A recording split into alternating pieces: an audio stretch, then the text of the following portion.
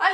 Hoy os traigo un haul de recibidos de julio y agosto más o menos. En el título veréis haul de recibidos de verano, pero más que de verano es de estos dos últimos meses que algunas páginas me han enviado algunas cosillas y me apetece enseñaroslas, porque así veis qué tal van de tallas, mi opinión y además algo un poco más diferente porque, bueno, ya sabéis que mi estilo es un poco entre alternativo y femenino a la vez, entonces quizá os interesa y Vamos a verlo. Voy a comenzar enseñándoos cosas por orden cronológico, o sea, desde las primeras que me llegaron hasta las últimas y lo primero que os voy a enseñar es de pelo. Y es que ya sabéis que yo trabajo con Por los Pelos Peluqueros. Es una página de venta de productos de peluquería, de pelo, de tratamiento capilar española, trabajan sobre todo con la marca Lacme que me encanta, tengo muchísimas cosas de ellos, todas, todas, todas, me han gustado y lo que me mandaron es para salvar mi pelo en verano. ¿Y qué es? Un champú protector para cabellos coloreados y una mascarilla de tratamiento y protector del color. ¿Qué quiere decir? Que te protege el pelo y te protege el color del pelo. Realmente lo estoy utilizando más que en julio, en agosto, que es cuando ya me, he cambiado el pelo. Y la verdad que no me está perdiendo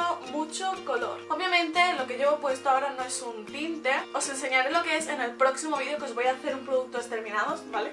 y no es un tinte, entonces obviamente dura mucho menos pero siento que me lo está retrasando bastante el rollo de que se me vaya. Huele fuerte, yo cuando me lo pongo en la ducha es como, Dios mío, esto huele muchísimo, pero no es como frutal o algo así, es como... Mmm, no sé describiros el olor, pero huele muy fuerte. Y te deja el pelo muy suave, la verdad. A mí, Juanjo, el chico que me proporciona los productos, me dijo que quizá el pelo se me quedaba un poco áspero o algo después de utilizarlo, pero a mí personalmente no me ha pasado, me lo dejó bastante sueltecito y muy bien la verdad. Y también me enviaron mi amado Deep Care Drops, que es una loción de reparado que simplemente te puedes poner todos los días a todas horas y no te engrasa el cabello y como que te lo repara mucho, te lo hidrata, te lo deja suelto, te sella la punta y pues se te parte un poco menos el pelo, sobre todo si te lo pones antes de peinarte porque yo no puedo peinarme sin aplicarme algo que me, que me suelte el pelo un poquito, no puedo porque si no se me parte una barbaridad y desde la última decoloración ni os imagináis me enrollo. Creo que está ahí, ahí con el aceite hidratante de Argan, de la misma marca de Acme. La verdad que yo lo uso este cuando noto que el pelo está más propenso a partirse y el aceite de Argan obviamente lo utilizo cuando está más sequito, que es diferente seco que quebradizo. La sequedad produce quebrado, pero el, pero el quebrado no tiene porque creo que producir quebramiento. No sé si me explico. ¿Quebramiento existe? No lo sé. ¿Qué más? Envió tres camisetas que elegí. ¿Qué pasa? Que yo soy muy básica con las camisetas. A mí las camisetas blancas o negras con algún dibujo, algún mensaje y tal. Entonces escogí tres, dos básicas y una con la que arriesgué y me arrepentí. Os la voy a enseñar antes que las otras y la que me pedí que en serio no me gusta nada. Es una camiseta pues, eh, la tela es como suelta, como ligera. En la parte del pecho, ahí lo veis, tiene... estoy espesísima hoy. Tiene un bolsillo falso y pues un estampado de elefantes, todo muy étnico. A mí me encanta el rollo étnico y tal. Pero ¿qué pasa? Que aunque parece una tela súper ligera, no es una tela que estire nada y además tiene un tacto muy recio. Tiene un tacto que me pone enferma, de verdad. Lo estoy pasando mal mientras que la estoy tocando, pero tiene un tacto que no me gusta nada. ¿Y qué pasa?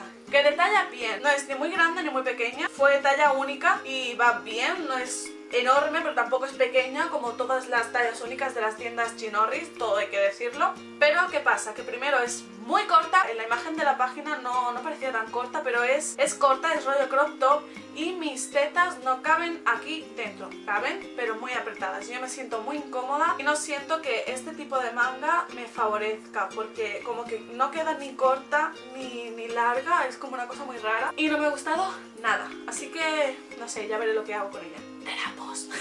También me pedí esta camiseta que... ¿Cómo era? ¿Flor en el jardín? No. ¿Fiesta en el jardín? me, me preguntó en el vídeo que hice, no sé, en un vídeo anterior, me preguntó, ¿en tu camiseta pone gay? Y sí, y es esta camiseta, es blanca y pone gay o gay. Uh, yo siento que es como una forma de decir que lo gay está bien, que no está mal y todo eso. Y nada, tenía que pedir. El único problema que, aunque es muy ancha, la tela estira muchísimo, ¿veis? O sea, muchísimo. Es una sensación que no sé si me gusta, porque a mí una camiseta ancha que quiere ajustarse al cuerpo es una sensación rara, pero me gusta mucho, favorece mucho puesta. Las mangas son normales, cortas y ya os digo, de talla genial. Si os gustan las camisetas anchas, pediros la más grande porque ya os digo que la tela quiere amoldarse al cuerpo. Y lo único que no me encanta mucho es que el impreso es rollo vinilo, ¿lo veis? Y brilla un poco y da la sensación a que se va a partir, pero ¿veis? Estoy estirando y, y no, no, a muerte, ¿eh?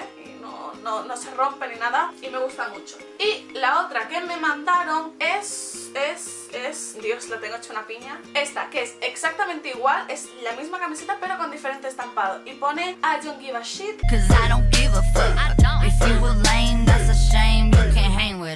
Dios, qué vulgar estoy. estoy hecha una una chica mala.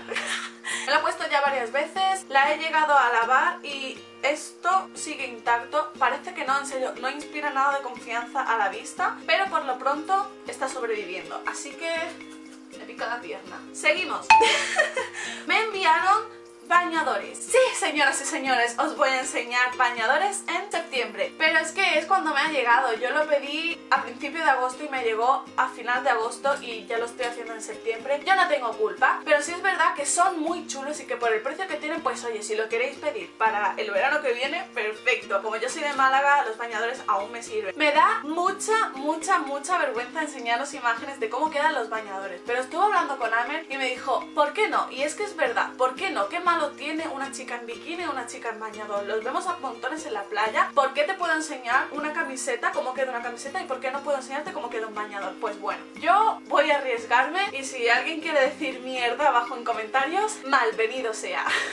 El primer bañador es este. Mira, yo, yo me lo pedí con mucho miedo, pero digo yo, mira, voy a arriesgar porque me hacen falta trajes de baño y me lo pedí y ya está. es este traje de baño y a mí me recuerda el estampado a algo pin-up, marinero o algo así. Tiene tirantes, lo cual se agradece para levantar un poco el pecho, pero como veis tiene aro, tiene un poquito de relleno, así que el pecho queda bien sujeto y queda muy bonito. Y la tela, aunque es recia, o sea, quiero decir como que, que sujeta bien el cuerpo, a la vez estira bastante, así que se amolda perfectamente a tus curvas, pero no es de estos bañadores que te dejan como el cuerpo suelto, ¿me entendéis? Hace una figura mona, pero si tenéis mucho pecho, quizá no os lo recomiendo porque es un pelín pequeño. Porque lo veis grande, ¿no? Pero el relleno como que te levanta mucho el pecho y parece que tienes ahí dos cosas y... Me gusta mucho, a mí me gusta mucho el bañador, pero quizá el pecho queda un poquito corto para las que tengamos bastante pecho. Pero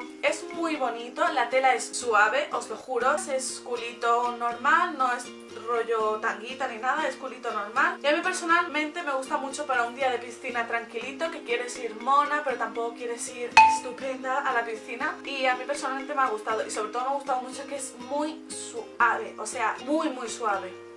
Y me pedí un bikini que sé que puede producir mucho amor y mucho odio. Os lo voy a enseñar. Es un bikini, pero la braguita de abajo es de tiro muy alto. Siempre he querido un bikini de estos de tiro bien alto y lo vi y digo yo, mira, me voy a arriesgar y ya está. La braguita quizá para mi gusto es demasiado alta, pero seguramente hay cuerpos a los que les favorece más, más alta o más baja. A mí personalmente me parece que es un poco alta, pero igualmente se me antojaba mucho tenerlo.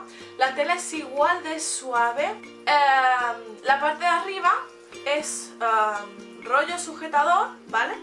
Eh, con tirantes y sin cierre. El pecho, como veis, es grande. Este no tiene relleno, pero sí que tiene aro y tiene flequitos que caen. A los flecos les tengo amor-odio. No sé si se los cortaré o no, os lo quería enseñar tal como es, que es así. Pero no sé si se los cortaré porque nadando estorban mucho y no te dejan lucir bien lo que es la parte delantera del cuerpo porque los flecos, como veis, son bastante, bastante largos. Pero en sí, yo sí que los recomiendo si sois chicas curvis y os cuesta bastante encontrar bañadores diferentes y que sean de una calidad decente, no digo que esta sea la mejor calidad del mundo, pero de una calidad decente, a mí personalmente me han sorprendido bastante y sí que los recomiendo.